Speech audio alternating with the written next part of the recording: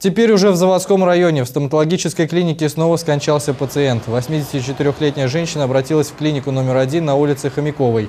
Ей сделали укол местной анестезии, а уже через некоторое время пациентке стало плохо. Врачи помочь ей не смогли, пожилая женщина скончалась. Это уже второй подобный случай в Саратове. 27 июня в Ленинском районе от укола обезболивающего в кресле стоматолога умер 17-летний подросток. Пока связывать эти два случая следователи не берутся.